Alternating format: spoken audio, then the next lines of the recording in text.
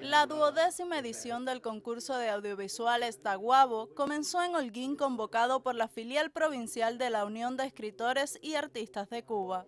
El certamen promueve el cuidado de los entornos naturales y del quehacer artístico en las comunidades, expuso el profesor Lino Verdesia Calunga en las palabras de bienvenida.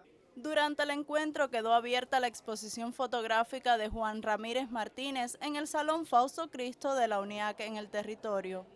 El intercambio y los talleres de creación entre los participantes constituyen momentos importantes a los que se refirieron Juan Carlos Travieso y Sofía Travieso, ambos invitados al evento.